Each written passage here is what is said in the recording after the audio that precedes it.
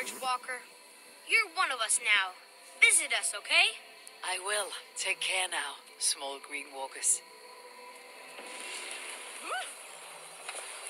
So I think AC veterans might recognize this here, but uh, what exactly is Eivor chasing down? Yeah, so here you're seeing Eivor um, running down one of our tattoo uh, images. So this is challenging the player on free run abilities, but also for fans of the series, sort of pulling at their heartstrings for some beloved features. So are we going to be able to tattoo Eivor? yes, by collecting these tattoos, you actually bring them to back to your settlement, and then you can customize different body parts, having different tattoos everywhere. So again, another form of expression, and sort of to represent that that Viking culture. Fizz, one of my favorite things when I was just out there exploring East Anglia was coming upon a house or a building and realizing that there was a chest inside, but that there was no easy way in. And in this case, I saw all the doors were barred, but I knew that because there was a chest in there, there must have been some way to get inside. Uh, so I went around the back and, you know, found a way in.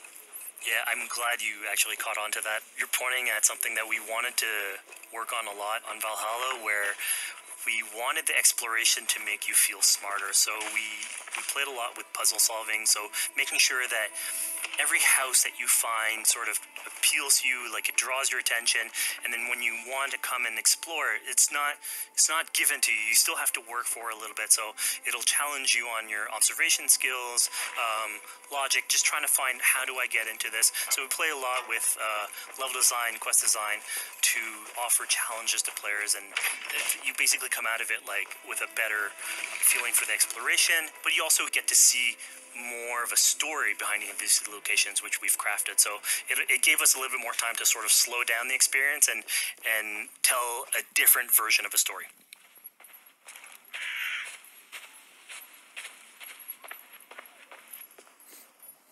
A poor victim of someone's fury.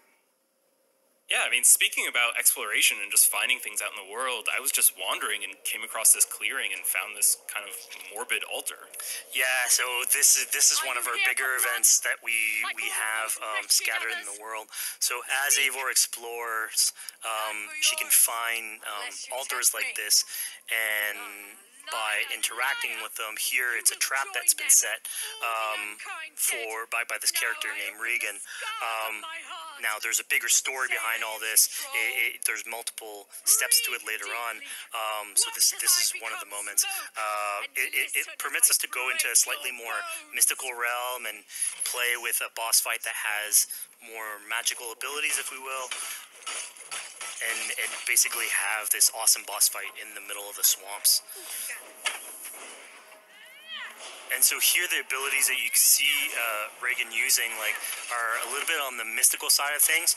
What's happening is Eivor at the beginning in that trap is poison, and so she starts sort of hallucinating, seeing the world in a sort of different uh, light and filter. Um, and so that that's sort of what lets us go into this this the the realm of the weird. My rage, spirit of my father's rage, fill me!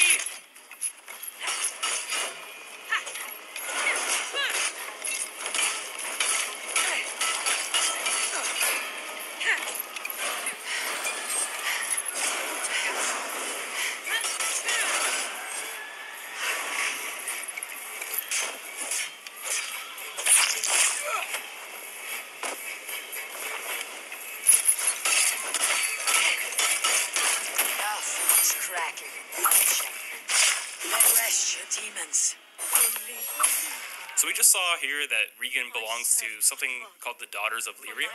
Yeah, that's correct. By finding the other daughters, you'll get a little bit more backstory on who they are. So we don't want to spoil that too much, but it creates like a a sort of greater story that is not on the main path in any way, but it is still very rich and adds to the lore of this world and actually plays into history. So we just had a really exciting, really intense boss battle. I think it's time for something a little bit more relaxing and calming now. Yeah, it's all here. It's all about pacing yourself with the highs and the lows. So here we have a low chill moment of what we call building a cairn. So Eivor, as she explores the world, will find these sort of meditative areas where you have have a, a pile of rocks that you could just stack on one on top of another using physics. And I mean, yeah, the, the ultimate goal is to try and get the highest pile of rocks, but really it's about taking in the sights, um, relaxing, taking a step back, and and build just building something. Together we stack stones into cairns. These? Yes. Think of this as a test of mind and wit. Stack the cairn stones high and wide into any shape you like. I mean, you can spend as much time as you want building these things, making them as high as you want, as weird as you want. I'm sure, like, a lot of these stuff will end up on the internet, like people comparing structures.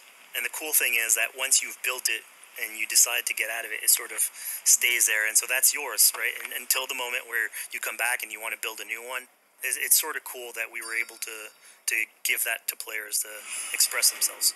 At this point in the demo, we've explored East Anglia, we've met some children, broken into a house, we fought a boss, we built a cairn.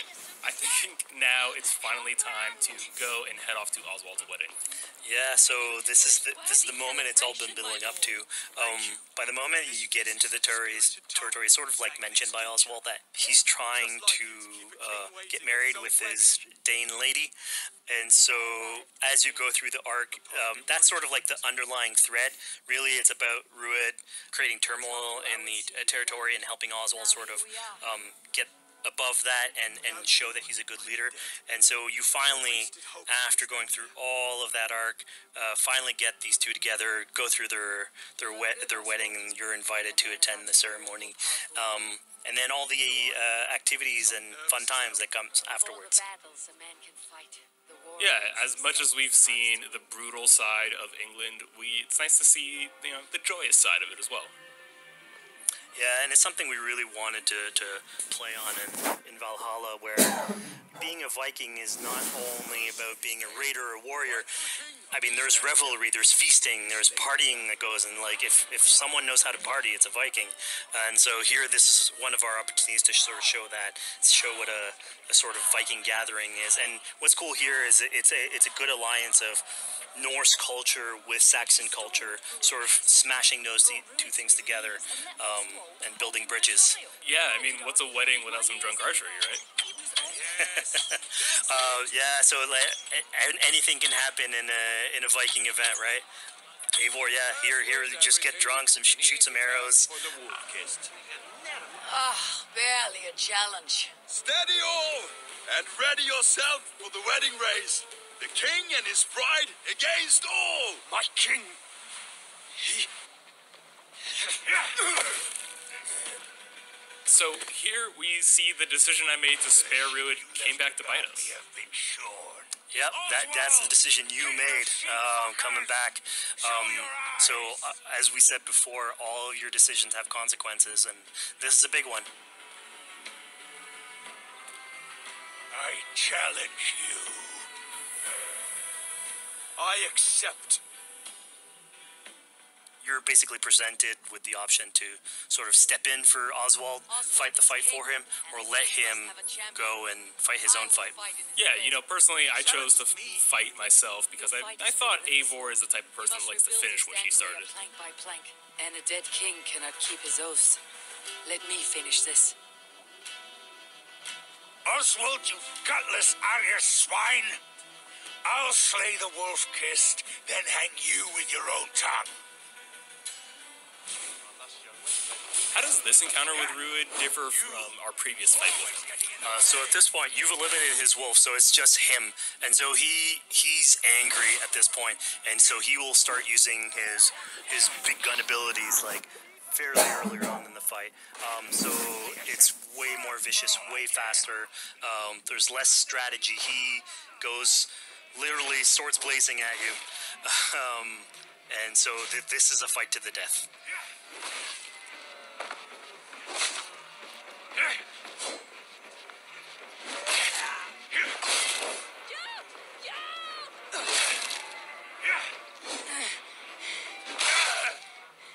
course, here, like this is a decision you made to go and fight him, but there's multiple outcomes to this scenario. You could have let uh, Oswald fight his own fight um, and prove basically his station as as the rightful leader.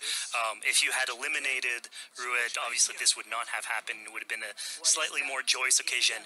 Um, but ultimately, in all scenarios, you still have an alliance with Oswald. He's proven to be um, the right leader for this territory um, and to be a good ally for you. Anglia a great service. I promised you an alliance, and now you have it. And one day I will need you to make good on that alliance. So we're about to take off from the wedding, but Eivor decides it's a good idea to check up on her friend Finnr. Yeah, so Finnr, Finnr is probably one of the more recurring characters in, in this arc. You get to meet him very early on. He's a very endearing character, um, sort of used to have a Viking life, sort of misses it, and going through all these adventures together is sort of like uh, lights that fire back, and so he's he's willing to join you in your raiders.